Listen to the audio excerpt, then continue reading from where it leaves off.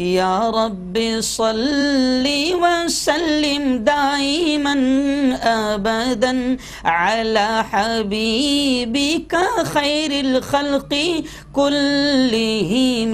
السلام عليكم ورحمة الله وبركاته. نظري استقبال ہے. سواگت ہے آپ کا viral news live Jalgaon Maharashtra India میں. میں آپ کا میزبان مفتی محمد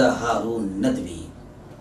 آئیے انٹرنیشنل ٹاپ فائیو نیوز دنیا کی پانچ بڑی خاص اہم خبروں پر نظر ڈالتے ہیں۔ جی ہاں ناظرین سب سے پہلے میں اپیل کروں گا کہ جو ساتھی نئے ہیں اور ابھی تک اس بے باک سچے چینل سے جڑے نہیں ہیں اگر آپ چاہتے ہو کہ آپ کو پیارے ملک بھارت کی اور پوری دنیا کی صحیح اور سچی خبریں دیکھنے اور سننے کو ملے، تو پھر آپ اس چینل سے جڑ جائیے۔ اس کا طریقہ آسان یہ ہے کہ ویڈیو کے نیچے ایک جگہ لال کلر میں سبسکرائب لکھا ہوگا۔ اسے آپ ٹچ کر دیں، وہ سفید ہو جائے گا۔ اس کے سفید ہوتے ہی رائٹ سائڈ میں ایک بیل ایک گھنٹی بن کر آئے گی، اسے بھی ٹچ کر دیں۔ اور گھنٹی کو ٹچ کرنے کے بعد تین آپشن آئے گی، جس میں پہلا آپشن رہے گا اے ڈبل ایل آل کا۔ اسے بھی ٹچ کر دیں۔ یہ تینوں کام کرنے سے یہ ہوگا کہ آپ چینل کے ساتھ جڑ جائیں گے۔ ہماری ہر خبر، ہر ویڈیو آپ کو آپ کے موبائل پر مل جایا کرے گی۔ اور ہاں حاضرین ہم ہر روز ایک اپیل کرتے ہیں کہ پلیز، یہ ایک پرائیویٹ چینل ہے اور چینل چلانے کے لیے پوری ایک ٹیم کام کرتی ہے۔ بڑا روپیہ پیسہ خرچ ہوتا ہے۔ اگر آپ چاہتے ہو کہ ایسے بیواق چینل جو ظلموں کے خلاف، ظالموں کے خلاف بول رہے ہیں۔ اگر آپ چاہتے ہو کہ ایسے چینل باقی رہے، مضبوط ہو، ترقی کرے، آگے بڑھیں، تو پھر آپ کو چینل کی مدد کرنی ہوگی۔ آپ چینل کی فائنینشیل ہیلپ ضرور کیجیے۔ مالی تعاون ضرور کیجیے۔ اسکرین پر ہمارے چینل کا بینک اکاؤنٹ نمبر دیا جاتا ہے۔ ایسے ہی اگر آپ آن لائن پیسہ بھیج کر مدد کرنا چاہتے ہیں، تو گوگل پے، فون پے اور پے ٹی ایم تینوں کا نمبر ایک ہی ہے۔ Double nine two three double two double three six one. اللہ نے جو بھی آپ کو طاقت دی ہے، آپ ہر دن یا ہفتے میں ایک بار یا مہینے میں ایک بار زیادہ سے زیادہ آپ چینل کی فائنینشیل ہیلپ ضرور کریں۔ ناظرین، ہم نے باقاعدہ اب دوسرا چینل بھی بنایا ہے وائرل نیوز انڈیا، تاکہ اگر اس چینل پہ کوئی شرارت کریں تو اس طرف آپ کو خبریں مل جایا کریں۔ تو وائرل نیوز انڈیا ایک نیا چینل بنا ہے ہمارا دوسرا۔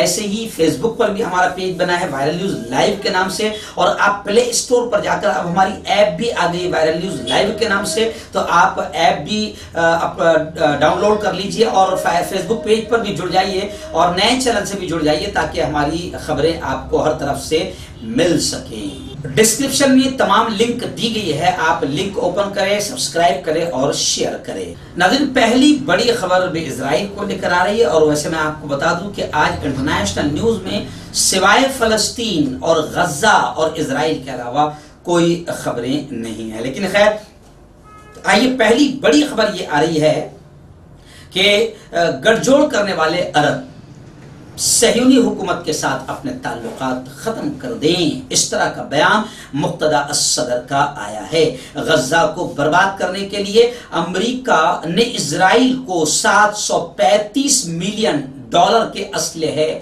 دینے کا معاہدے کو منظوری دے دیا ہے یعنی کلیئر پتہ چل رہا ہے۔ میں جیسے لگاتار پہلے سے کہتے آ رہا ہوں کہ اسرائیل کا ناجائز باپ خود امریکہ ہے، جو دنیا میں امن قائم کرنے کی بات کرتا ہے اور آتنگواد کو اور خون خرابی کو روکنے کی بات کرتا ہے۔ لیکن دنیا دیکھ رہی کہ اس وقت سب سے بڑا آتنگوادی اسرائیل ہے، جو معصوم بچوں پر اور بستیوں پر، اسکولوں پر بھی بم برسا رہا ہے، ہاسپٹل پر بھی بم برسا رہا ہے۔ لیکن اب امریکہ ہی اس کی مدد کے لیے کھڑا ہو چکا ہے۔ جبکہ ہم سلام کرتے ہیں بھارتی حکومت کو کہ بھارتی حکومت مظلوموں کے ساتھ ہے، فلسطینیوں کے ساتھ ہے۔ اور بھارت نے یہ بھی کہا ہے کہ اسرائیل اور فلسطین دونوں انتہائی تحمل کا مظاہرہ کرے۔ لیکن خبر یہ بھی ہے کہ غزہ پر اندھا دھند اسرائیلی آتنکوادیوں کی بمباری شروع ہے اور اب فلسطین کے مرنے والے شہیدوں کی تعداد دو ہزار تک پہنچ گئی ہے، جبکہ بارہ سو کے قریب لوگ زخمی بتائے جا رہے ہیں۔ ان مرنے والوں میں شہید ہونے والوں میں اٹھاون بچے اور چوتیس عورتیں بھی شامل ہے۔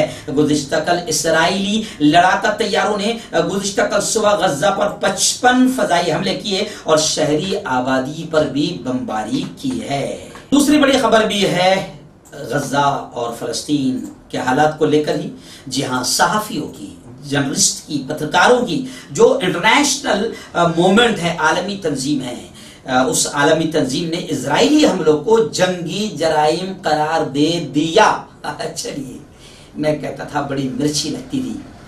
اب انٹرنیشنل میڈیا نے بھی کہہ دیا کہ اسرائیل کے جو حملے ہیں، وہ جنگی جرم کر رہا ہے اسرائیل، آتنکواد پھیلا رہا ہے ٹیرزم کر رہا ہے، دہشت گردی کر رہا ہے۔ اس لیے میں پہلے دن سے کہتے آ رہا ہوں کہ دنیا کے سب سے بڑے آتنکوادی اور ٹیررسٹ تو لوگ مجھے کمنٹس میں لکھتے کہ آپ ٹیررسٹ کیسے کہہ سکتے ہیں؟ لیکن اب عالمی تنظیم بھی کہہ رہی ہے پترکاروں کی کہ اسرائیلی حملے جنگی جرائم ہیں۔ خیر، آئیے غزہ پر مزید حملے ہوئے ہیں۔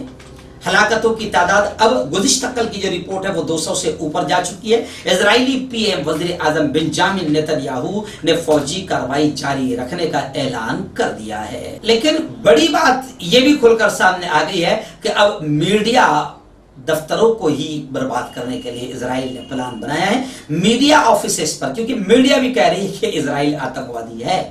مان رہی ہے کیونکہ وہ اپنے آنکھوں سے دیکھ رہے ہیں، معصوم بچوں کے بدن کے چیتڑے اڑتے ہوئے۔ تو اب میڈیا آفیسز پر بھی اسرائیلی حملے کے معاملے سامنے آ رہے ہیں۔ فلسطین یہ بھی کہہ رہا ہے کہ اب ہم عالمی فوجداری عدالت جائیں گے۔ فلسطین کے سفارتکار نے یہ کہا ہے کہ ہم عالمی عدالت میں جائیں گے۔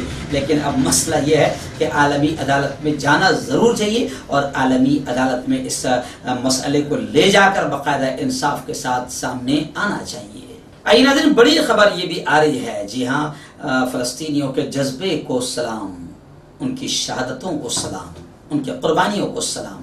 وہ بھی پیچھے ہٹنے کو تیار نہیں ہے وہ کہتے ہیں کہ القدس ہماری جان ہے، ہماری روح ہے، ہمارا ایمان ہے۔ خیر خبریں آ رہی ہے کہ غزہ کی پٹی سے بھی اسرائیل پر تقریباً اکتیس سو راکٹ فائر کیے گئے، لیکن ان میں سے چار سو پچاس ہی سرحد پار کیے بغیر گر گئے۔ اسرائیلی دفاعی دستوں نے آئی ڈی ایف نے اتوار کے روز اس کے بارے میں اطلاع دی۔ آئی ڈی ایف نے ایک بیان میں کہا کہ غزہ کی پٹی سے اکتیس سو کے قریب راکٹ فائر کیے گئے تھے، لیکن ان میں سے چار سو پچاس یعنی ساڑھے چار سو غزہ کی پٹی میں گرے اور پھٹ پڑے۔ فوج نے بتایا کہ غزہ کی پٹی سے فائر کیے گئے ایک ہزار دو سو دس راکٹوں کو اسرائیلی فضائیہ کے نظام آئرن ڈوم نے بیچ میں روک دیا۔ وہیں پر اسرائیل کے وزیر اعظم نیتن یاہو نے کہا کہ اسرائیل نے حماس کے حماس کے پندرہ سو اہداف کو نشانہ بنایا۔ آئی ایم جی چوتھی بڑی خبر بھی اسرائیل اور فلسطین کو لے کر ہے۔ جی ہاں فلسطینیوں کو کچلنے کی، ختم کرنے کی پوری کوششیں کی جا رہی ہے اور کچھ ویڈیوز تو جو معصوم بچوں کو فلسطینی معصوم بے گناہ، بے قصور بچوں کو قید کیا گیا اور انہیں مارا گیا اور خبریں اور ویڈیوز تو بتا رہی کہ انہیں آخر میں ذبح بھی کر دیا گیا۔ یعنی درندگی حیوانیت کی ساری حدیں، دنیا کے اس آتنگوادی اسرائیل نے ساری حدیں آتنگواد کی اور حیوانیت اور درندگی کی پار کر دی ہے۔ مگر کمال کی بات یہ ہے کہ ہیومن رائٹس اور انسانی حقوق کی بات کرنے والے بھی ابھی مجرمانہ خاموشی اختیار کیے ہوئے ہیں۔ جو کتے اور بلیوں کے مرنے پر چیختے اور چلاتے ہیں، جنہیں کتوں سے بڑا پیار ہے، انہیں انسانی جانوں کے قتل ہونے پر وہ ابھی چلا نہیں پا رہے، بھونک نہیں پا رہے۔ خیر خبریں آ رہی ہے کہ چاہے کتنی کوششیں کی جائے، اسرائیل غزہ پر فضائی حملوں سے الجزیرہ کو بھی خاموش نہیں کرا سکتا، کیونکہ الجزیرہ کے دفتر پر بھی حملہ ہوا ہے۔ اور یہ خبریں آ رہی ہیں انہوں نے کہا ہے کہ جنہوں نے یہ جنگ مسلط کی ہے، وہ نہ صرف غزہ میں تباہی اور موت کو پھیلانا چاہتے ہیں، بلکہ وہ اس میڈیا کو بھی خاموش کرنا چاہتے ہیں، جو غزہ میں رونما ہونے والے واقعات کا گواہ ہے۔ کیونکہ الجزیرہ ہو یا غزہ میں جو میڈیا ہاؤس ہے، وہ اصل حقیقت کو دنیا تک پہنچانا چاہتے ہیں۔ اس لیے اس لیے آتنکوادی اسرائیل نے باقاعدہ الجزیرہ کے آفس اور میڈیا دفاتر کو بھی تباہ کرنے کی پوری محنت کی تاکہ اصل حقیقتیں دنیا کے سامنے آ نہ پائے۔ مگر یہ کہا جا رہا ہے کہ اسرائیل غزہ پر فضائی حملوں سے الجزیرہ کو خاموش نہیں کرا سکتا۔ نظر آخری بڑی خبر بھی اسی کو لے کر ہے۔ جی ہاں اقوام متحدہ، یو این او، جو انسانی حقوق کا ایک وہاں پر شعبہ ہے ڈپارٹمنٹ ہے، جو پورے انٹرنیشنل لیول پر، عالمی سطح پر انسانی حقوق کی بات کرتا ہے اور انسانی حقوق کے لیے لڑائی کرتا ہے۔ مگر ابھی فی الحال جو فلسطین میں مر رہے ہیں، وہ انسان کہاں ہیں؟ خیر، اقوام متحدہ کو بھی تھوڑی بہت یوں سمجھیے کہ غیرت اور شرم آئی ہے۔ اور اقوام متحدہ نے بھی اب یہ کہا ہے اسرائیل اور فلسطین دونوں سے یہ کہا ہے کہ وہ جھڑپوں کو روکے، حملوں کو روکے اور خونی جنگ کو روکے۔ لیکن لوگوں کا یہ کہنا ہے کہ اقوام متحدہ، یو این او کلیئر طور پر یہ کہہ دے کہ او آتنگوادی اسرائیل اور ٹیررسٹ اسرائیل اپنی آتنگواد کو روک اور فلسطین کے معصوم بچوں کی شہادتوں کو روک۔ خیر، اقوام متحدہ نے منہ تو کھولا ہے، کچھ تو بولا ہے اور بولا ہے تو یہ بولا ہے کہ اسرائیل اور اور فلسطین دونوں طرف سے جنگ روک دے اور خونی کھیل ختم کر دے۔